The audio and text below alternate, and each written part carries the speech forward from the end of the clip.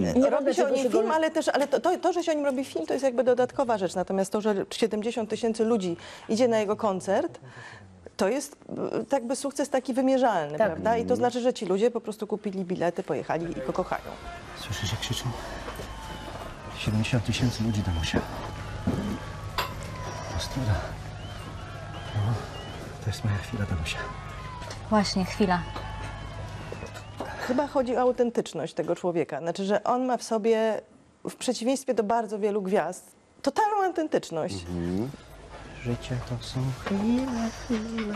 Widać po nim, że to jest człowiek, który kocha to, co robi, że uwielbia śpiewać. To jest człowiek, który po prostu robi to, co kocha. Krzysztof, No to ważne. trudno tę autentyczność uchwycić, e, zagrać.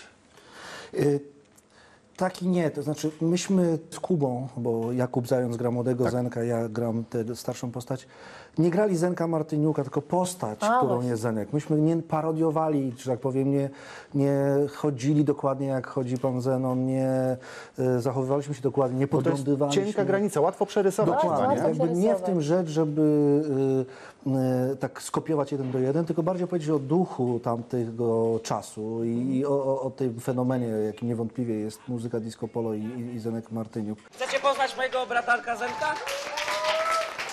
Zenek, zaśpiewasz?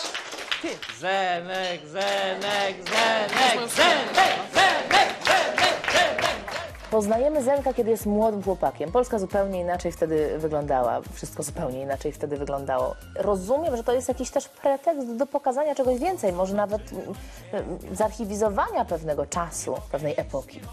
Oczywiście, znaczy dla mnie zdecydowanie tak. Ta muzyka, tamten czas, yy, kasety, yy, brawo, kupowane na yy, skrze w moim przypadku, a w przypadku pana Zenka pewnie gdzieś na jakichś yy, bazarach. Myślę, że ten czas przy- gdzieś tam całemu naszemu pokoleniu kojarzy się z, z, z jakimś takim wzruszającym okresem w życiu i chciałam ten, te, to, to, to wzruszenie jakoś oddać. I wydaje mi się, że to się udało. No, że A ten- długo pracowałaś nad scenariuszem? Krótko, bardzo krótko. Mieliśmy bardzo mało czasu, yy, więc to zajęło w sumie y, dwa miesiące. Y, Więc naprawdę mało czasu. Jak to, jak, jaka to była historia dostania, otrzymania przez ciebie tej roli? Brałeś udział w castingu? E, czy ktoś pomyślał od razu o tobie? Ktoś Zadzwoniła do mnie reżyser? moja agentka Monika Kaczmarek, powiedziała Krzysztof, czy byś iść tak uśmiechnęła. Słuchaj, jest taka propozycja, że może byś zagrał Zenka Martyniuka. A ja pomyślałem, wow, niezwykle, bo to ani nie mój świat, nie moja muzyka, nic nie moje. To dla aktora jest naprawdę i wzruszająca podróż, i świetna zabawa, że wracamy i chodzimy w tych włosach. No właśnie, i o- oswoiłeś sobie te, tą fryzurkę. Te koszulki, to wszystko jest takie jak stamtąd. Ty miałeś dobrze, bo byłeś w latach 90. 90. Kuba był w latach 80. Mm, Dokładnie. Ja, więc potem poszedłem na spotkanie z Jankiem y, Chryniakiem, z reżyserem. Powiedziałem, że ja naprawdę chcę. I Janek powiedział, ja wiem, że ty chcesz, ale ja muszę jeszcze chwilę pomyśleć. I, i, A walczyłeś o tę rolę. Fajnie, że się przyznajesz. Spotkaliśmy na, na, na, na planie. Tak, ja wiem, że ten film wzbudza wiele emocji, jeszcze go niewiele osób widziało, właściwie nikt go nie widział, już jest wiele emocji Wiadomo. z wielu powodów pozafilmowych. Tak. Ale to jest kino, które pokaże Polskę przede wszystkim tam, w tamtych czasach i co ważne, pokaże, jak myśmy się wspaniale zmienili, jakie my mamy sukcesy jako Polska. Jaki skok wykonaliśmy Jaki skok w zaledwie, nie wiem, wykonaliśmy. 20-30 lat, nie? A jednocześnie, że ciągle y, w, tym, w tej, tej przemianie y, ta muzyka, kiedyś nazwana chodnikową, teraz disco polo, funkcjonuje, jest jakby częścią naszej kultury. A taki zespół akcent pan zna? Znam, ale nie mam. Zeszło. Jakbyś mnie zabrał na koncert, to bym ci nagrał dwie kasety. A ty byś nie puściła Zenka ze mną na koncert w następną sobotę? Wspominacie Jakuba Zająca. Czas go poznać, Mhm. właściwie Państwu przedstawić. Spotkaliśmy się, to Jakub Zając, powtórzmy, zagrał młodego Zenka Martyniuka. Jest z nami na łączach, mamy taką nadzieję przynajmniej. Halo? Jest. Dzień dobry Państwu. E, Kuba, no to na początek takie pytanie. Znasz utwór e, Przez te oczy zielone, zielone? No tak, znam. Nie zatrzymuj mnie, to nie da nic. Mój przyjaciel będzie kiedyś znany. Akurat ja tych piosenek w filmie nie wykonuję. Wykonuje je mój partner sceniczny Krzysztof Czeczot, który mm, odgrywa rolę starszego Zenka. Ja natomiast y, wykonuję piosenki z okresu lat 80., 90., e, takie jak Kama Chameleon, e, Hurej Hurej, Bonnie M. I know where we should go. Heidi, Heidi, ho. Już o tym trochę w studiu porozmawialiśmy. Dla aktora grać postać, która jest wszystkim doskonale znana i wciąż aktywna na scenie, to chyba nie lada wyzwanie, nie? Na pewno jest to wyzwanie. My przed rozpoczęciem zdjęć e, mieliśmy też okres przygotowawczy. Ten okres trwał jakieś 3-4 miesiące, coś takiego. Więc miałem naprawdę sporo czasu, żeby oglądać materiały z Zenkiem, nadrobić dyskografię zespołu Akcent, ponieważ ja wcześniej znałem kilka utworów, natomiast na potrzeby roli oraz całego, całej produkcji musiałem zapoznać się z całą twórczością. A z samym Zenkiem się zapoznałeś? Tak, byliśmy na spotkaniu e, przed rozpoczęciem zdjęć. Spotkanie miało miejsce w Białymstoku. E, porozmawialiśmy. Mm, Pan Zenon opowiedział kilka historii. To jest ostro, tak, Pablo?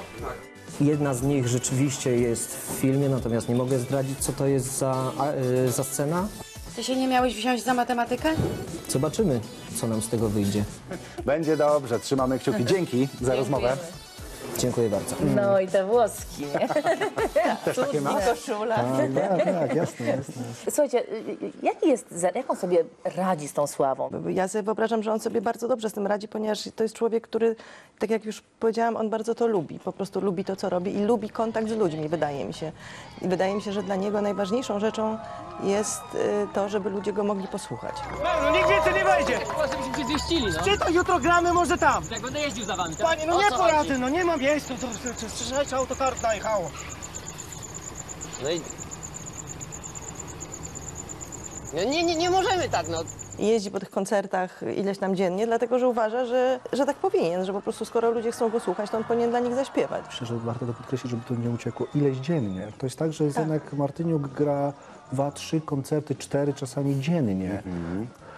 Moje spotkanie z nimi to jest taka refleksja, że to jest naprawdę autentyczne. On uwielbia śpiewać, to czuć, po, y, że to, to jest coś, co on chce robić. I, i, I to, czy on będzie popularny, czy on będzie zarabiał mniej, czy więcej, myślę, kompletnie dla niego A jeśli tak jest, to znaczy. pewnie tak zupełnie nie ma dla niego też znaczenia, czy, czy, czy ktoś go kocha, czy nie cierpi. No.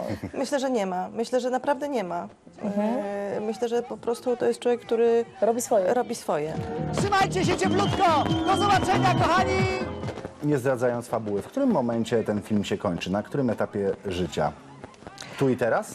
Nie, nie, nie dotykamy czasów współczesnych. y, Kończymy w, na początku lat y, dwu- 2000, w 2000 mniej więcej czwartym roku. Czas na prawdziwego Zenka Martyniuka. Był gościem e, pytania na śniadanie ekstra. No i ciekawe, jak on właśnie no, w kontekście tego, czym mówią nasi goście, zareagował na pomysł zrobienia filmu. No, trochę o nim, trochę nie o nim, ale jednak o tytule Zenek. Olek Sikora zadał mu to pytanie. Co pomyślałeś, jak usłyszałeś pierwszy raz, że, że, że jest taka możliwość, żeby w ogóle taka produkcja powstała? Pierwszy raz rozmowy na temat filmu gdzieś tak się rozpoczęły, zaczęły jakieś dwa, może dwa i pół roku temu. W trakcie pisania właśnie książki Życie to są chwile dostałem właśnie propozycję nakręcenia filmu o mnie. Mówię, to świetnie się składa, bo jesteśmy właśnie w trakcie pisania książki Życie to są chwile.